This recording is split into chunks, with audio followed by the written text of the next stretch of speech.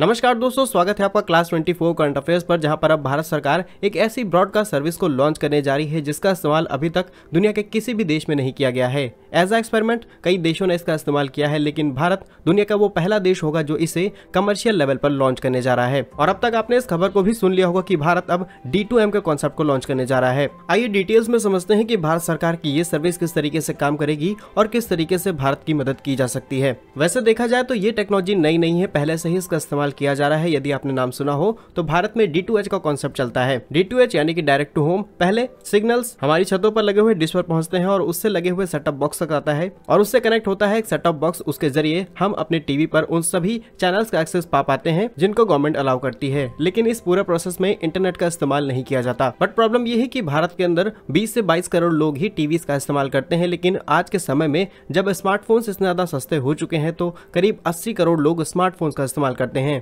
तो गवर्नमेंट ये चीज़ समझ चुकी है की अगर किसी भी इन्फॉर्मेशन को ज़्यादा लोगों तक पहुंचाना है, वो भी बिना किसी चार्जेस के तो इस तरीके की टेक्नोलॉजी यानी डी टू यानी डायरेक्ट टू मोबाइल टेक्नोलॉजी को इंट्रोड्यूस कराना होगा और इसे नाम दिया गया है नेक्स्ट जनरेशन ब्रॉडकास्ट फ़िलहाल इस टेक्नोलॉजी को लॉन्च करने और उसके ऊपर काम करने के लिए department of telecommunication ministry of information and broadcasting इसके अलावा आईआईटी कानपुर और कई टेलीकॉम ऑपरेटर्स भी शामिल होंगे। एक बड़ी मीटिंग कराई जाएगी, जिसके बाद इस पर डिसीज़न लिया जाएगा, क्योंकि ऐसी सर्विसेज़ के आने की वजह से टेलीकॉम कंपनीज़ को नुकसान हो सकता है क्योंकि आज के समय में भारत के अंदर ज़्यादातर स्ट्रीमिंग कंटेंट को कंज्यूम किया जाता है और इसी में सबसे ज़्यादा डेटा यानी इंटरनेट पैक खर्च हो रहे हैं। इससे टेलीकॉम कंपनी जैसे कि वोडाफोन आइडिया एयरटेल जियो ये सभी पैसा कमाती हैं। लेकिन अगर इस तरह की कोई सर्विस लॉन्च हो जाएगी तो सभी चीज़ों का एक्सेस हमें फ्री मिल जाएगा। वो भी बिना इंटरनेट के तो इन कंपनियों को इस चीज़ का नुकसान उठाना पड़ सकता है। अब वैसे तो हमें दिखाई जाने वाली चीज़ें फ्री नहीं होंगी। उनके ऊपर कई सारे एडवर्टाइजमेंट चलाए जाएँगे और ऐसा भी हो सकता है कि वहाँ पर नॉन स्किपेबल एडवर्टाइजमेंट्स आए। जिस तरीके के एडवर्टाइजमेंट्स आज आपको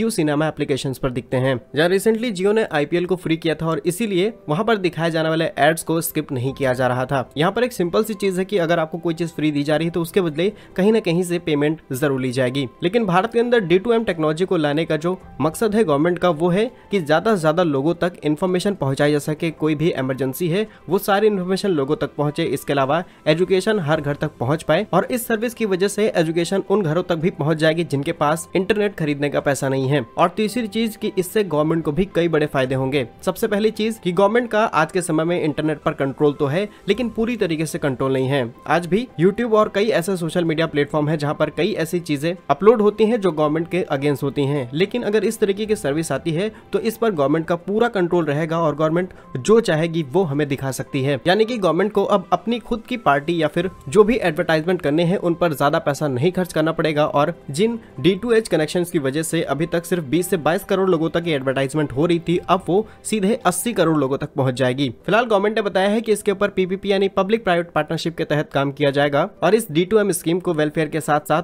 प्रॉफिटेबल भी बनाना गवर्नमेंट का टारगेट है। बाकी डी पर आप क्या सोचते हैं कमेंट बॉक्स में ज़रूर बताइएगा। और यदि आपको हमारा वीडियो अच्छा लगा है तो इसे लाइक और चैनल को सब्सक्राइब ज़रूर कीजिएगा। और वीडियो खत्म करने के साथ हम आपको बता दें कि यदि आप एस एस की प्रिपरेशन कर रहे हैं या फिर तैयारी करने के बारे में सोच रहे हैं तो आपके लिए क्लास 24 के एस एस फाउंडेशन बैचेस को लाइव किया जा चुका है, जिसमें आपको प्री प्लस मीन्स दोनों का ही सिलेबस कवर कराया जाएगा। इस कोर्स की खासियत ये है कि यहाँ पर आपको ऑनलाइन वाली फील नहीं आएगी, क्योंकि इन क्लासेस को डायरेक्टली ऑफलाइन क्लासरूम से लाइव स्ट्रीम किया जाएगा। इस कोर्स में आपको 400 प्लस आर का classroom program live and recorded session exam oriented weekly test expert faculty team doubt session और बेसिक टू एडवांस अप्रोच के साथ में आपकी तैयारी कराई जाएगी। नॉर्मली इन सभी चीज़ों का जो प्राइस है, किसी भी इंस्टीट्यूट में बीस से पच्चीस हज़ार रहता है क्लास ट्वेंटी पर भी इसके प्राइस दस हज़ार के आसपास रहते हैं, लेकिन अभी इस पर डिस्काउंट दिया जा रहा है करीब फिफ्टी परसेंट ऑफ़ यानी कि फोर ट्रिपल नाइन में आपको ये कोर्स अभी मिल जाएगा। इस कोर्स में एनरोल होने के लिए आपको गूगल प्ले स्टोर पर class twenty four exam preparation आपको डाउनलोड करना है, या फिर आप डिस्क्रिप्शन में दिए गए लिंक से भी एप्लीकेशन को डाउनलोड कर सकते हैं। उसके बाद आपको ओपन करके जाना है SSC सेक्शन में